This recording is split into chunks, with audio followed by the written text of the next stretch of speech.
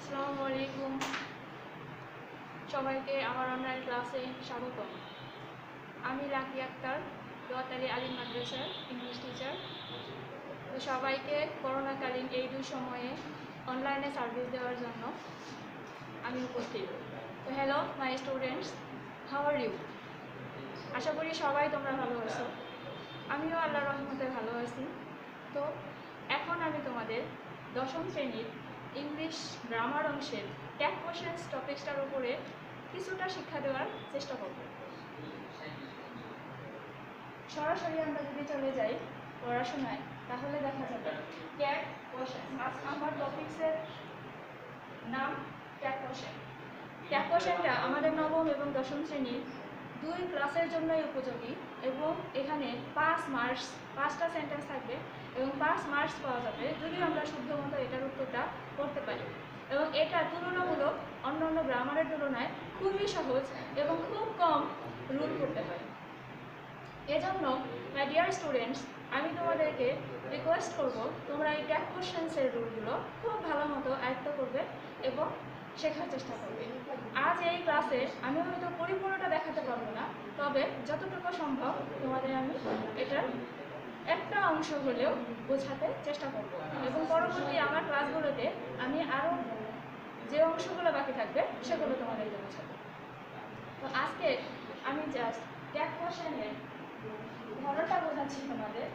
এটা হচ্ছে যে কোনো একটা বাক্যের অ্যাসার্টিভ হোক ইম্পারেটিভ হোক বা এক্সক্লোমেটিভ হোক, যে কোনো ধরনের বাক্যকে পরিপূর্ণ আবার সেটাকে ট্যাগ করা আই মিন প্রশ্নবোধক বানানো সেক্ষেত্রে অ্যাসার্টিভ বাক্য থাকতে পারে ইম্পারেটিভ বাক্য থাকতে পারে, বা যে কোনো ধরনের বাক্য যেটাই থাকুক, সেটাকে আমাদের কী করতে হবে? প্রশ্নর আকারে নিয়ে যেতে হবে। তোমাদের হয়তো মূল সেন্টেন্সটা দেওয়া থাকবে, আমাদেরকে কী করতে হবে? বা তোমাদেরকে কী করতে হবে? পরীক্ষার প্রশ্নপত্রে যে মূল সেন্টেন্সটা দেওয়া থাকবে, পাঁচটা সেন্টেন্স থাকবে পাঁচটায় প্রত্যেকটা এক করে নাম্বার। তো পাঁচটা সেন্টেন্সকেই আগে আয়ত্ত করতে হবে, সুন্দর মতো লিখতে হবে খাতায়। তাহলে আমাদের এক নম্বর রুলসের মধ্যে আমরা কী পেলাম? যে প্রথমে সেন্টেন্সটি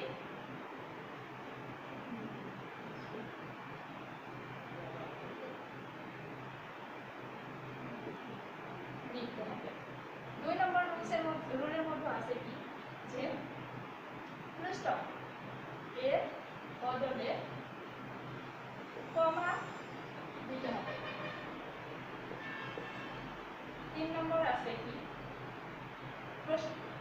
ট্যাগটা পরিপূর্ণ করতে হবে।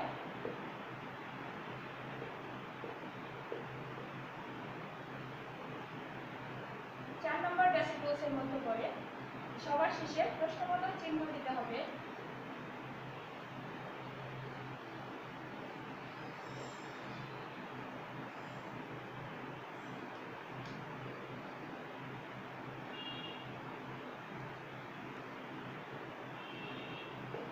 এই চারটা মোটামুটি বেসিক রুলস এবং তার মধ্যেও তিন নম্বর যে রুলটা আছে, এই রুলটাই হচ্ছে আমাদের মূলত ট্যাগ কোশ্চেন্সের রুল এবং তার আশেপাশে যেগুলো আছে প্রথমে সেন্টেন্সটা খাতায় লিখতে হবে। সেটা প্রশ্নের মধ্যে যে সেন্টেন্সটা দেওয়া থাকবে, সেটাই আমাদের করতে হবে। এবং প্রত্যেকটা সেন্টেন্সের শেষে যে চিহ্নগুলো দেওয়া থাকবে পৃষ্ঠাপ থাকবে পৃষ্ঠাপ বা প্রশ্নবোধক থাকবে প্রশ্নবোধক যেখানে থাক পৃষ্ঠাপের বদলে আমাদের কমা দিয়ে করতে হবে এবং ট্যাগ কোশ্চেনটি পরিপূর্ণ করতে হবে। এইটাই মূলত আমাদের আলোচ্য বিষয় যে কীভাবে আমরা ট্যাগটা পরিপূর্ণ করব। এবং ট্যাগ কোশ্চেন এমন একটা জিনিস যে পরিপূর্ণ শুদ্ধভাবে করার পরেও তোমরা যদি প্রশ্নবোধক চিহ্নটা না ব্যবহার করো, তাহলে সেটা তোমার জিরো নাম্বার ডিজার্ভ করবা তুমি। মানে সেখানে কোনো নাম্বার তুমি পাবে না। এর জন্য সম্পূর্ণ করার ট্যাগ কোশ্চেনে প্রশ্নবোধক চিহ্ন ছাড়া তোমার কখনোই সেটা সম্পূর্ণ হবে না। আর অসম্পূর্ণ জিনিস থেকে তুমি গ্রামারে কোনো নাম্বার ডিজার্ভ করতে পারো না।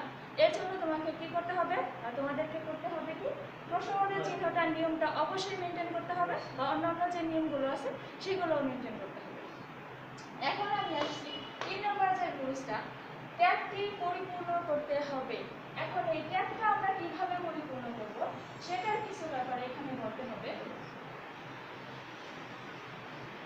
যেমন, এখানে আমি একটা এক্সাম্পল হিসেবে একটা সেন্টেন্স নিচ্ছি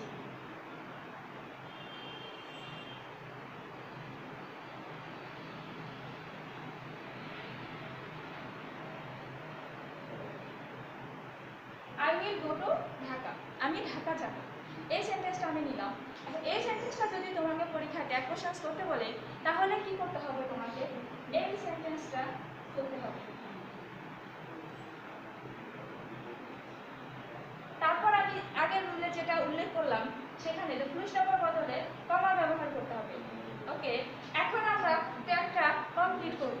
কীভাবে ট্যাগটা কমপ্লিট করব? আমাদেরকে অক্সিলারির দিকে সবার আগে তাকাতে হবে যে এই যে সেন্টেন্সটা আছে, সেই সেন্টেন্সটার মধ্যে অক্সিলারি ভার্বস কোনটা আছে? আমাদের অনেকগুলো অক্সিলারি ভার্বস আছে। তার মধ্যে মডেল অক্সিলারি আছে ডু ভার্ব আছে হ্যাভ ভার্ব আছে। এগুলো অবশ্যই আমি পরবর্তী ক্লাসে তোমাদেরকে দেখাবো যে কোন কোন ধরনের অক্সিলারি ভার্বসগুলো হয়। তো সাহায্যকারী ভার্ব যেগুলো আছে, সেগুলোর মধ্যে এখানে আছে কি উইল এখানে আছে এবং ট্যাগ কোশ্চেন্সের আরেকটা ব্যাপার আছে যে অ্যাফার্মেটিভ হলে নেগেটিভ করতে হয়। অ্যাফার্মেটিভ থেকে নেগেটিভ করতে হবে এবং নেগেটিভ যদি হয়, তাহলে অ্যাফার্মেটিভ করতে হবে। অ্যাফার্মেটিভ যদি বাক্যটা থাকে, তাহলে তাকে নেগেটিভ করতে হবে এবং নেগেটিভ যদি বাক্যটা থাকে, তাহলে তাকে অ্যাফার্মেটিভ করতে হবে। এখন আমাদের খুঁজে দেখতে হবে এই বাক্যের মধ্যে কোথাও নেগেটিভ কোনো শব্দ আছে কি না অক্সিলারি ভার্ব সবার প্রথমে কি খুঁজতে হবে? অক্সিলারি ভার্বস বা সাহায্যকারী ভার্বস যাই বলো, তো এটা খুঁজতে হবে। এটা খোঁজার পরে যখন আমরা পেয়ে যাব, তখন আমাদের খুঁজতে হবে কি নেগেটিভ কোনো শব্দ আছে কি না? নেগেটিভ কোনো শব্দ। নেগেটিভ অর্থবোধক যে কোনো ধরনের শব্দ। নট হতে পারে নেভার হতে পারে রেয়ার হতে পারে সিরম হতে পারে। তো যে কোনো ধরনের শব্দ অথবা অন্য যে কোনো ধরনের নেগেটিভ অর্থবোধক শব্দ থাকলে, তাহলে বাক্যের পাশে আমাদের ট্যাগটাকে করতে হবে অ্যাফার্মেটিভ এবং যদি কোনো নেগেটিভ অর্থবোধক